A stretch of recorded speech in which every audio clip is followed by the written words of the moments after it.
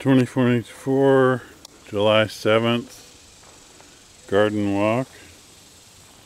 We're going to be getting our guide with us in a minute. This is like the new developments.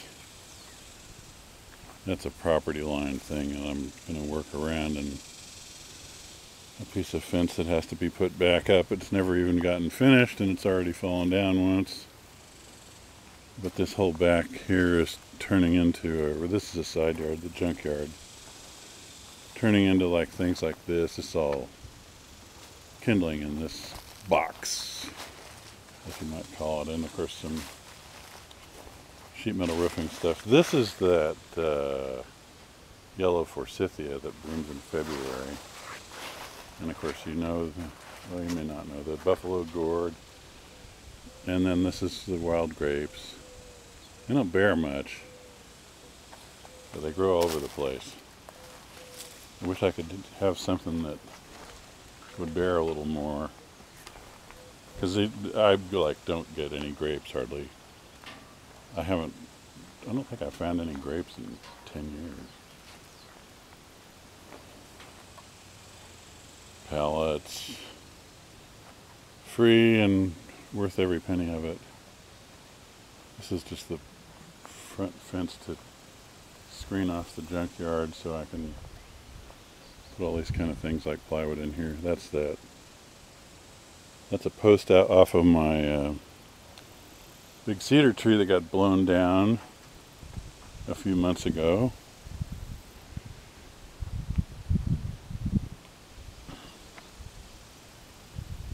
Stuff everywhere. That's not even mine. I gave it away and it came back and he's working on it here. And some stuff on its way to being put into the storage shed and my grand front entry.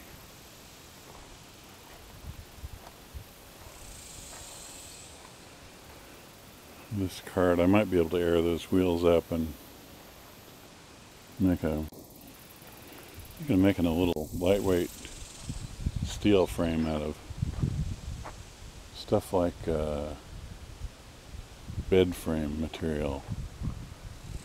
Somewhere over here we should have I brought some lumber from them tearing down a house. And I don't know where my gangsters put it. I, oh, there it is, yeah. Okay. It's actually right where I would have put it, so how about that?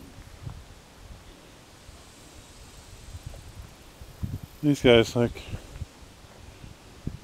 it's kind of, they come over and eat my food and charge me a few bucks and do a few things that involve bending and lifting that I can't do. This is some that this is that salvage lumber. We'll make things out of this. I, you don't yeah, and that's a big cedar post over there just sitting and drying. Sometimes not getting around to doing anything can be good because you'll find that like, oh, I need a dry piece of cedar, say, and, and you look and, whoa, all these piled up over here. These are all dry. These have been here for years, haven't they? Forgot all about them. We'll take another route around. The neighbor's Johnson grass. It's, uh, it's getting pretty old too. And he's just not up to it anymore. I dissed it for him this spring, but he never did plant anything. He's got a shredder and he went over it with his uh, spreaders. I don't know why he's got a well, but he doesn't irrigate. I don't understand why he doesn't plow like, you know, two passes with the tractor, you know, like a 16 foot strip all the way along in front of the house over there where the hoses will easily reach from the well. I mean, that would be Drake style. If I'm not going to do the rest of it, I'll just put the shredder on and mow it all down. This is the stump of that tree. It split right in half. And all came down all over the place. These are native four o'clocks. And they they would like to be watered. They'll even green up if they get watered. They got a nice uh, purple flower on them. I, I think I've gotten some shots of them in bloom on some of the garden walks. That I don't remember when. This low area here in the middle, for some reason, this idiot that the neighbor hired to mow the lawn came and went right through this flower bed and mowed.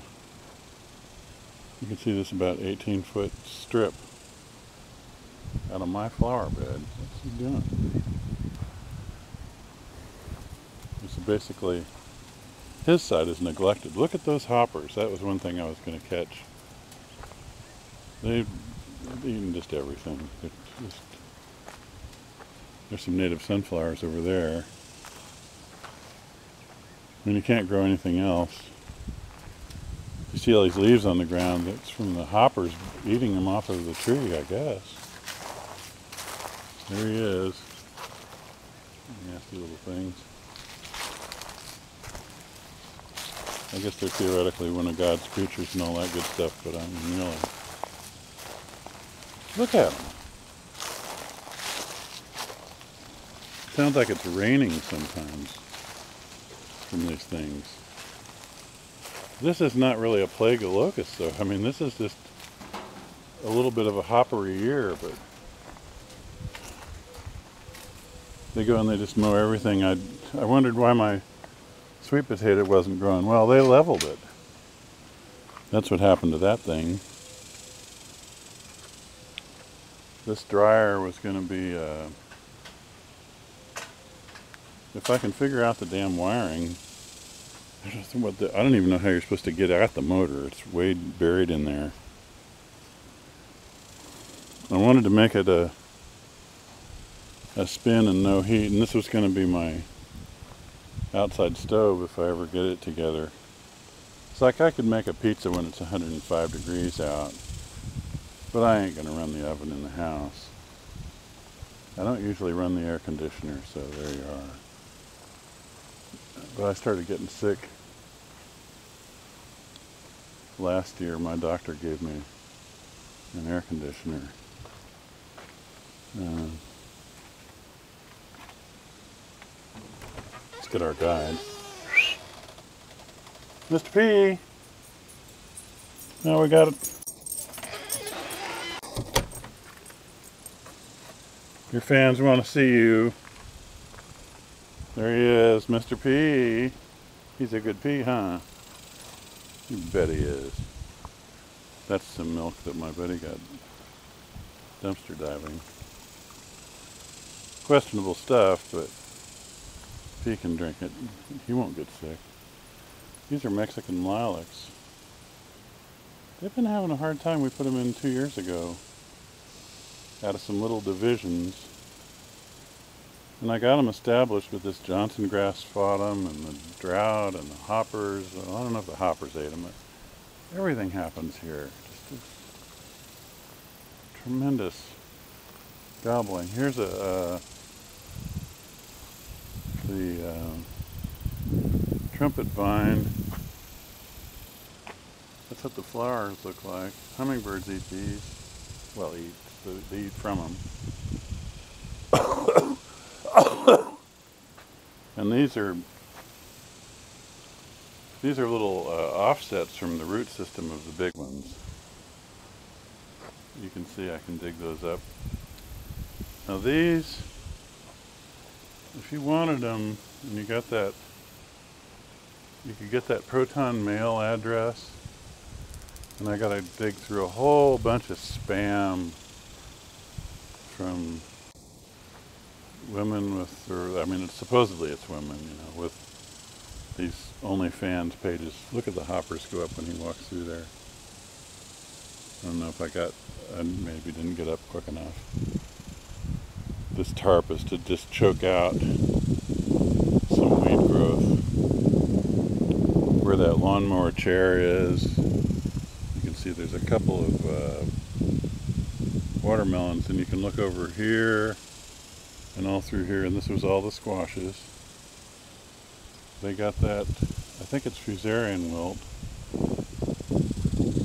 a whole bunch of them just bam, dead. Shriveled up and died.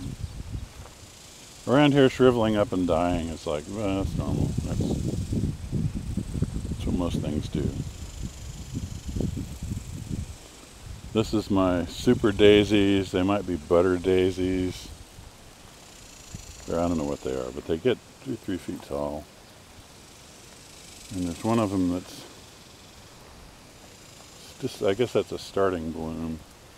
It makes this little yellow uh, daisy flower.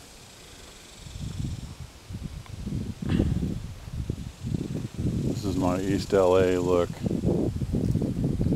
mower that's various stuff.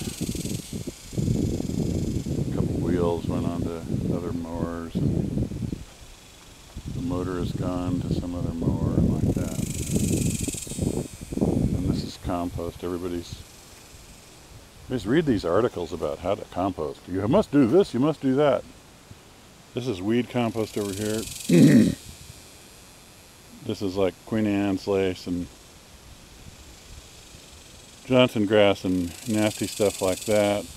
And it'll die. Most of the seeds will be dead in there underneath. And I can put it out like if the potatoes would have lived, I was going to build a, a mound of this stuff around the potatoes. What you do is you you take this surface junk off and you get the more finished compost out of the center of the pile and then um, uh, that doesn't have too many weed seeds in it. And once the potatoes are really growing good they don't need a lot of water so you kind of just you soak the heck out of them once a week or something even in 100 degree weather.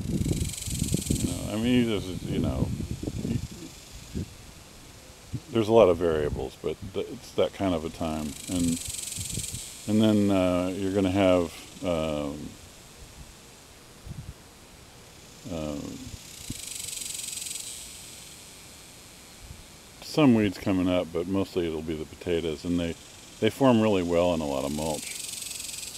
Across, that's the back street back there. That house somebody used to live in it 10 years ago those are all there's a bunch of them around town and they they run down like that but you could move into it and fix a few things you know get the toilet to flush and like that this is the brush pile. It's it's had oh I don't know what 10 pickup trucks full of stuff thrown onto here.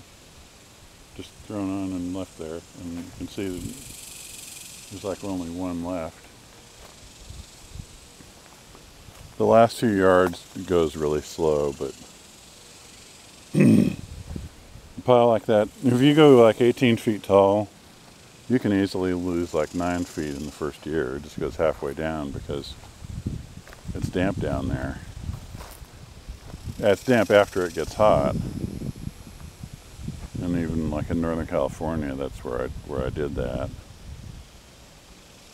Here's some watermelons. Now they were supposedly could get the fusarium wilt, but they didn't. So there's that. The plastic is just just something that was laying around, so I put it here. I wanted to suffocate some weeds. The technique is mow, pull like Johnson grass and stuff, mow, get it down, put tarps over it, and, and let everything die. This was corn that didn't make it over here. Just nothing, nothing with that. Our guide is out here in the, these are the wild carrot plants if you look right there. That's that Queen Anne's lace. A burr, but not a terrible, terrible burr.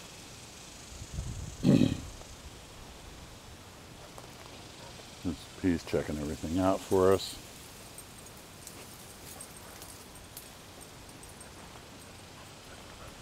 We've done a little cleaning up in here. But I've been kind of putting the firewood over here and then that thing that looks like a watering trough.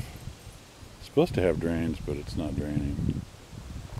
That's gonna just get stuff thrown in and then I'll take the riding mower and drag it.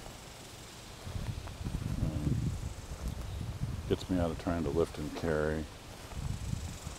There's a bunch more of that Queen Anne's lace Stuff is pretty when it flowers. The thing to do, if you want to have like a nice garden, is to let it flower and then pull it all up and compost it before it sets seeds. And you might be able to have something other than the Queen Anne's lace. If you let it go, you just get big fields of it. And there's like a balance between what grows well here, what grows well there. The riding mower has been in here, that's why this is cleared up as much as it is. In the Buffalo Gourd. I wish these things would make something I could eat.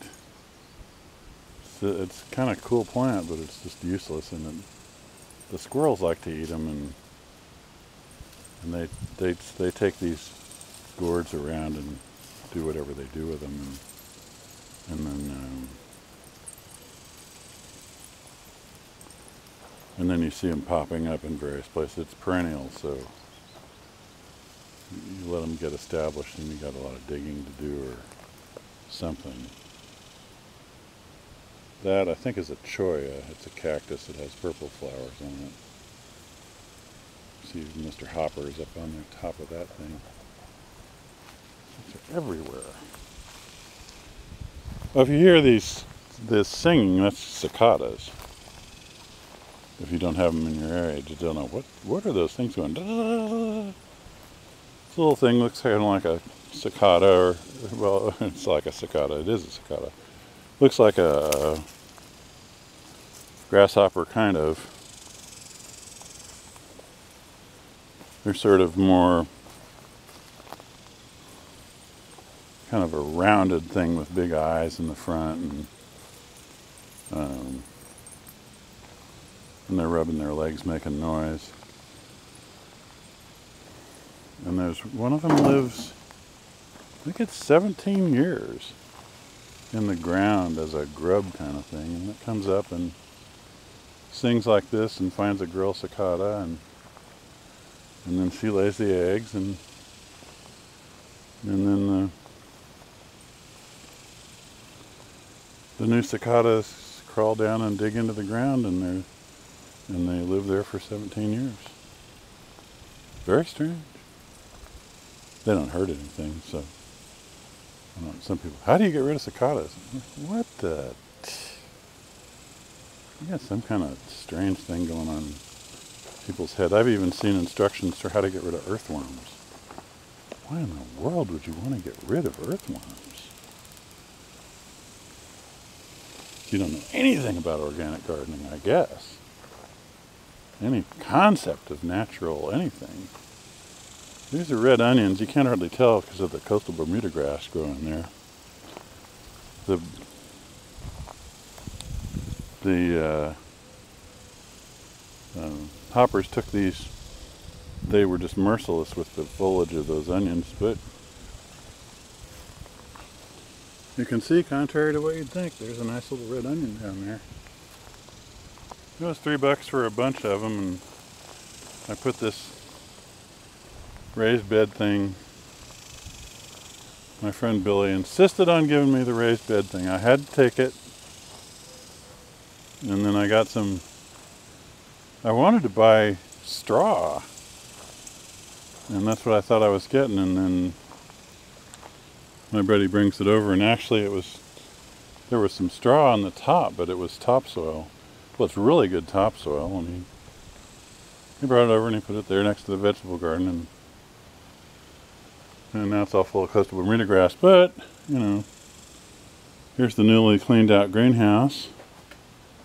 This here was supposed to be seedlings. There was like 10, 12 flats here. The hoppers just ate everything to the ground.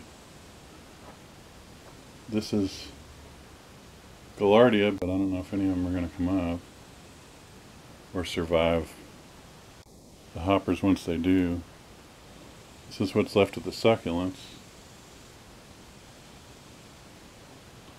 This one with the little mini jelly beans guy seems to be the one that wants to live the most of any of them. Those back in there are some blackberries. That's something rather arc. It's a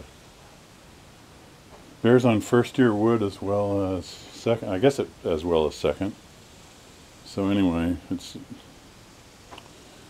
you get your blackberries sooner. So I'm hoping to keep those alive and get them into the ground and have them spread all over. I've tried to take these like more like native blackberries, dig them out, cut a bunch of foliage off to so they wouldn't dry out and they'd dry out and die anyway. Got the crown of the plant, but uh, they don't recover from the root damage. The easiest way, by the way, with the blackberries, raspberries, all those dudes, take like a gallon can or something. Put it on a piece of wood or whatever so it doesn't root in the ground or have a tree root come up into it from underneath. They'll do that. And you put it next to your blackberry and then you take the cane of the blackberry or I did it with the thornless boysenberries but I think it's all the same difference and you stick it into the gallon can where it goes kind of like the Loch Ness monster goes down and then it comes back up again and then uh, this is my this is a Navajo blackberry planted this spring out of a one gallon can.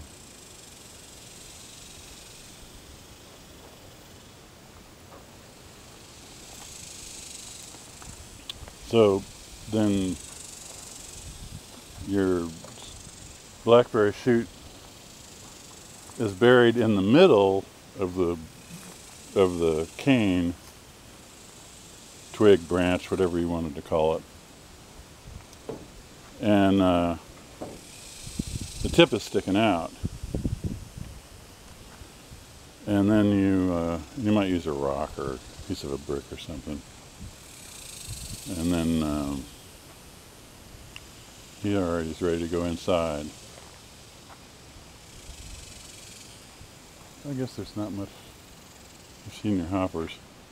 And then just uh, you water it and it'll send out roots and it won't die off. You do the same thing with a honeysuckle. Uh, the vine's not going to die off because it's got uh, still attached to the parent plant. And then when the gallon can gets a bunch of roots in it, you can cut it off and take it out and you've got your new plant. And I guess that does it for us for today.